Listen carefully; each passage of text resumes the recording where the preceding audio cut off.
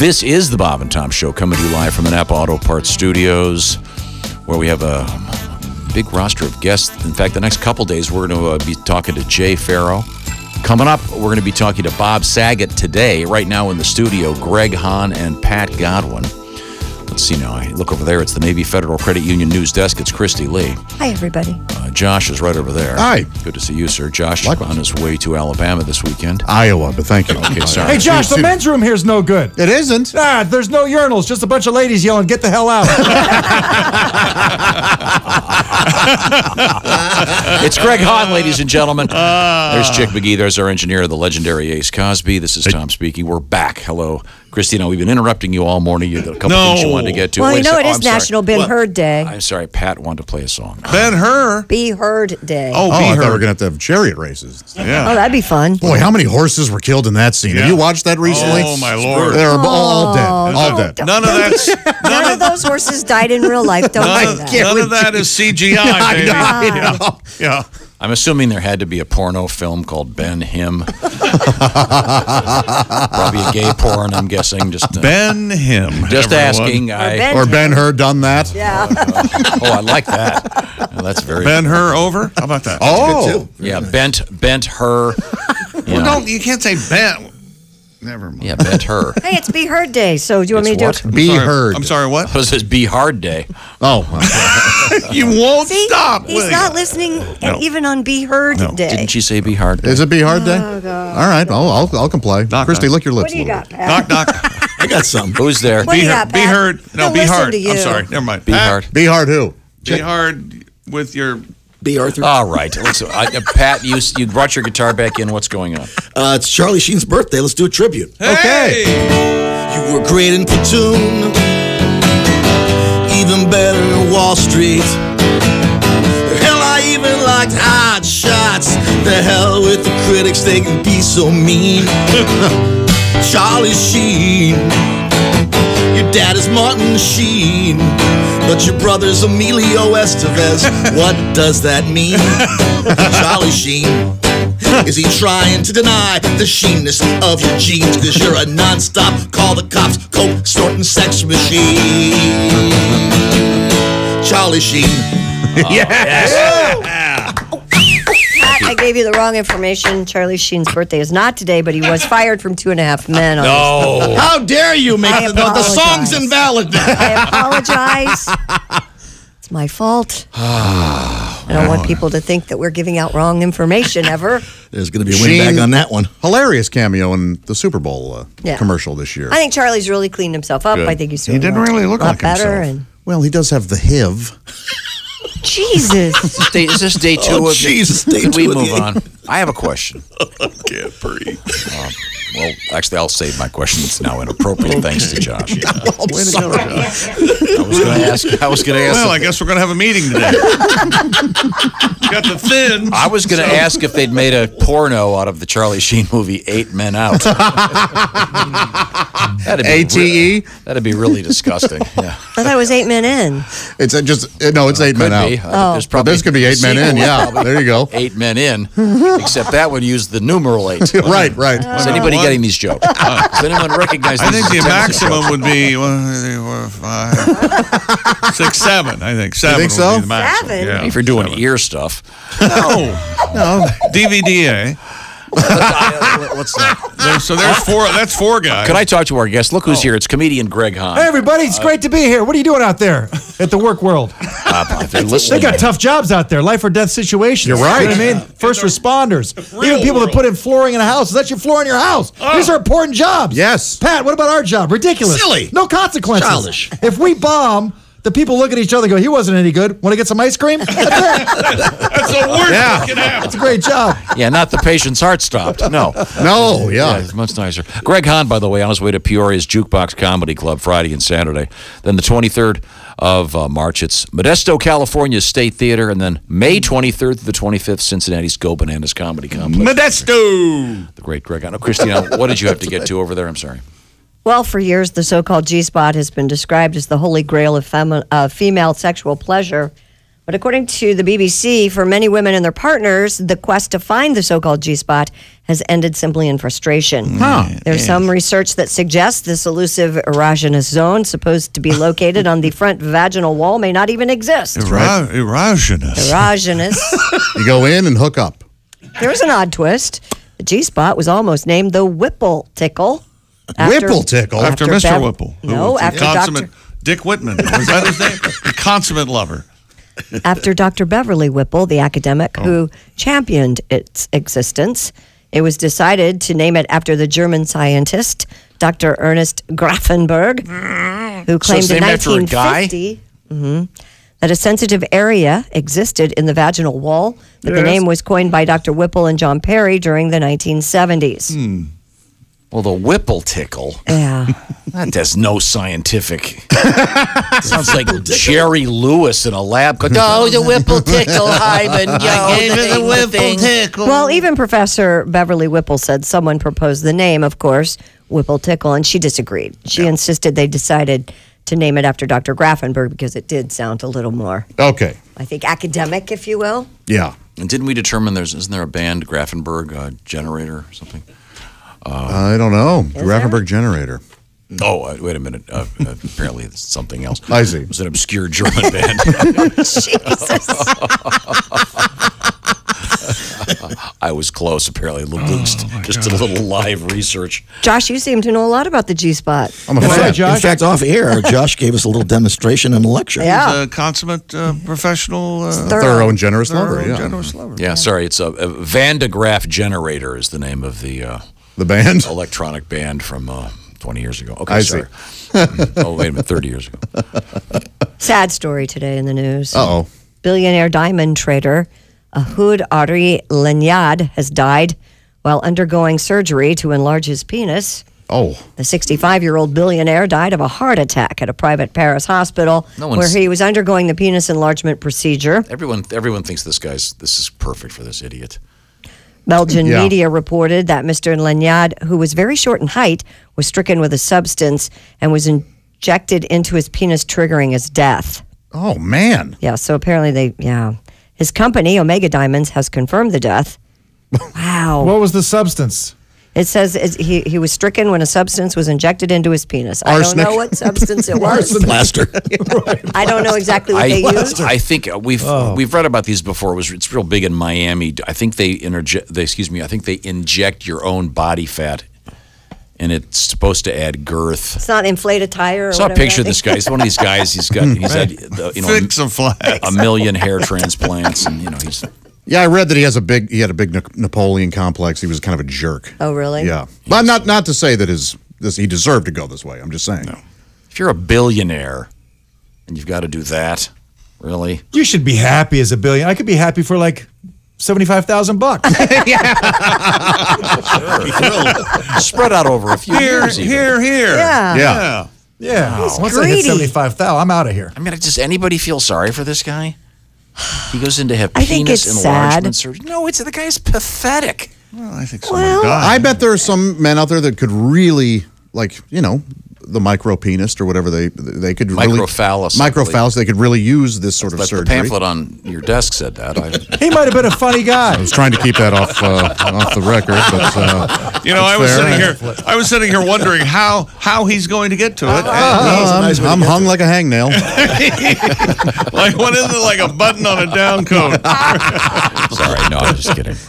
Uh, now, uh, coming up, Greg Hahn and Costaki Economopoulos. This is the Bob and Tom Show. Once again, thanks for joining us here in the Napa Auto Parts Studios.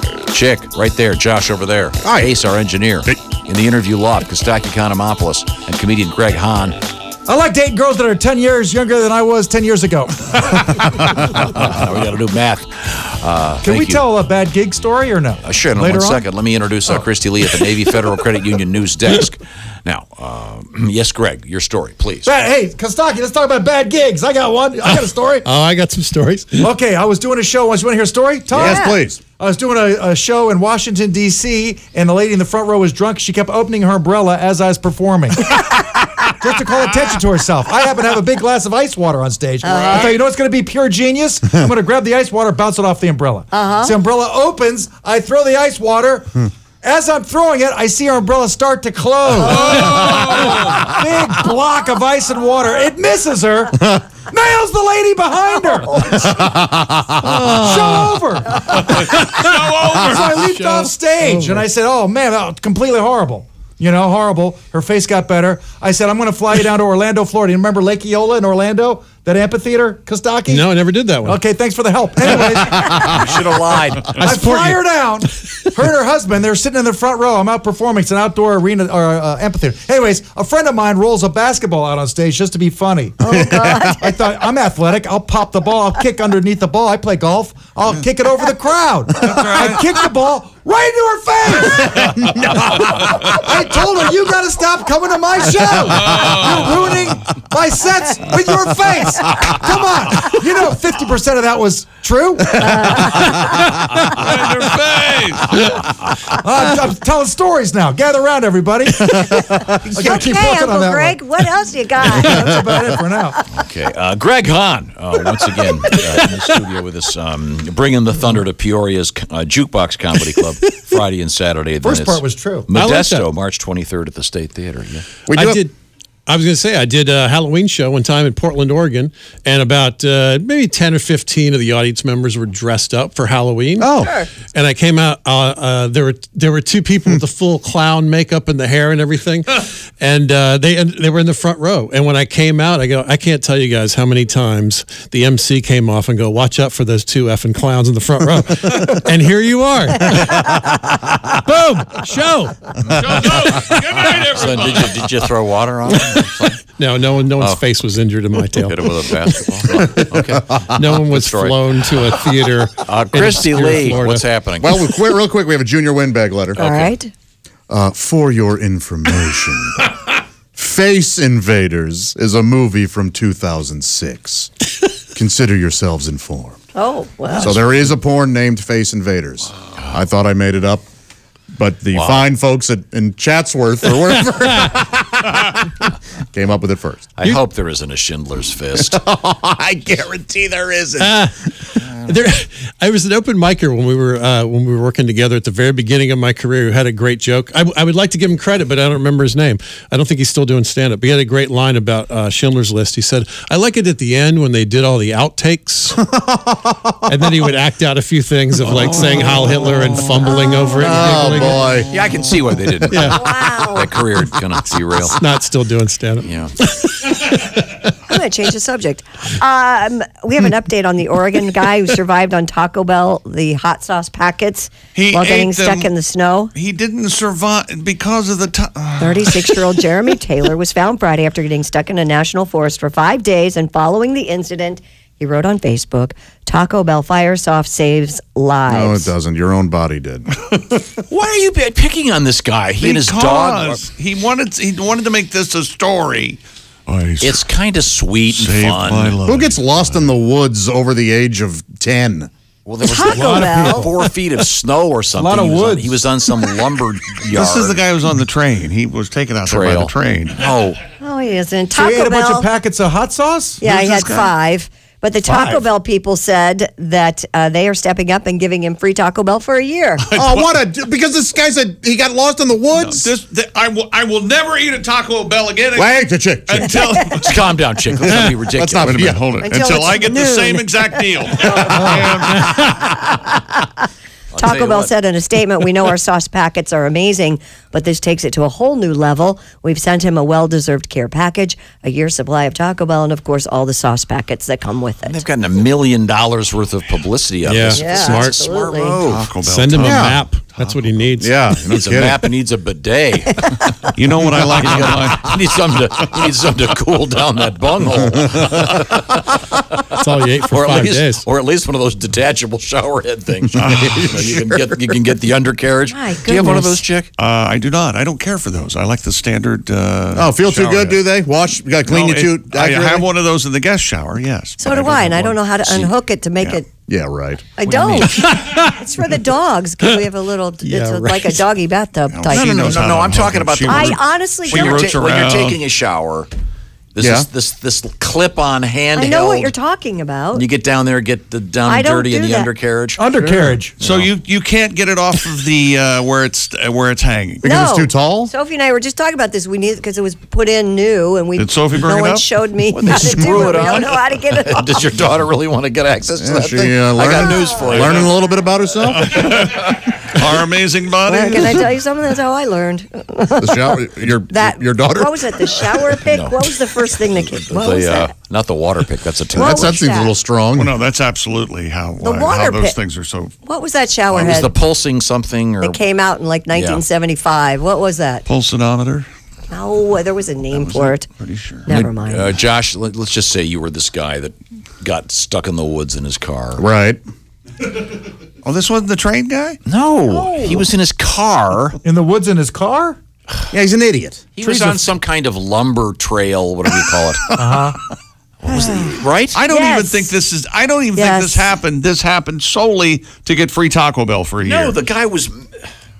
The guy survived on his own body fat. The sauce had nothing Yes. to do with How it. Yes. long was he out there? Five days, you can survive. you can easily Now go he, for five days. not necessarily eating. without water, but he could drink the snow. Is there some formula like 77, seven hours, seven? That's days, exactly right. seven a 77, week? 77. Here's the story. Um, Thank you. 36 year old true. Jeremy Taylor became stuck in deep snow on a U.S. Forest Service road. yeah. Hmm. Slept in the car, tried to walk out, had to return to the car with his dog, and he said Taco Bell fire sauce saves lives. He was just being having some fun. So it's a sweet, happy story. How'd the dog do? Dad, dog is Dad fine. is a Oh, that's good. The dog is not dead. As a doornail. On a sled, Oh, I read a different story. Drunk it up. Oh, God, the guy.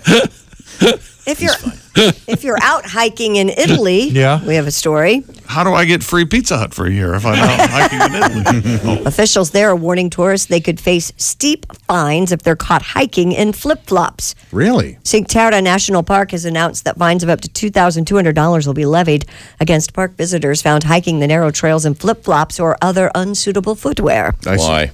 Well, I'll tell you why. As I, as someone who has broken her leg in Italy, Wearing a flip flop? not wearing a flip. I'm pretty wearing- sure. I wasn't wearing a flip flop, but I'm pretty sure you just said footwear. That was, that was in Sweden. Okay, sorry. rescue teams have become overwhelmed with calls or help for help for visitors who attempted the difficult paths without adequate footwear. What a crock. Yeah. Look at this footwear, Josh. How do you like this footwear? Oh, those, are, those kicks Ace are great. shoes.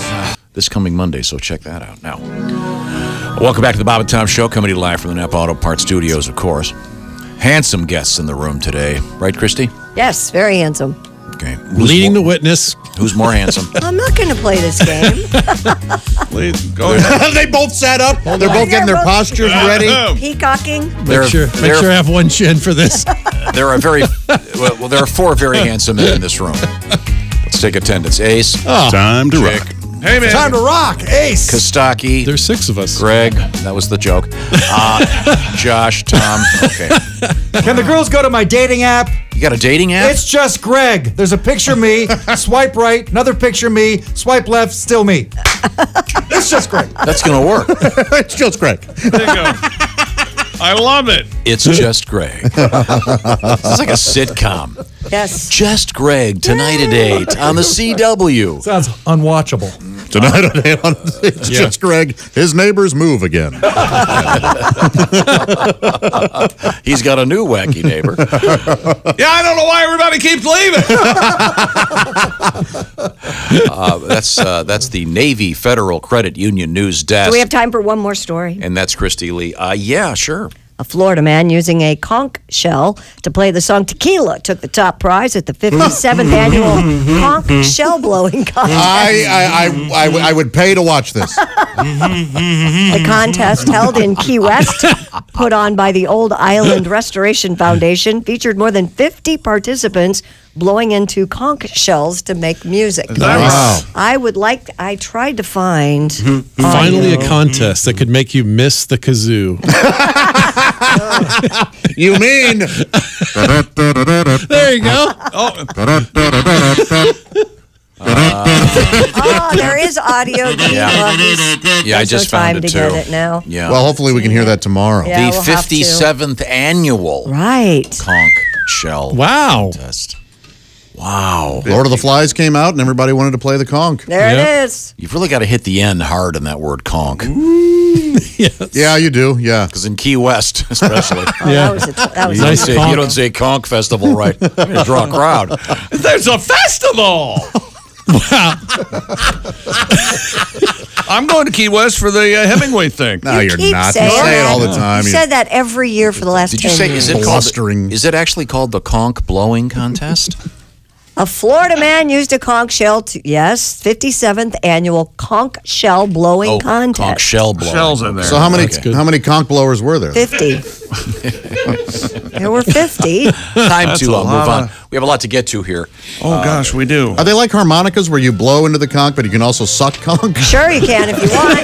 Time because now there are no rules, Josh. You Nice.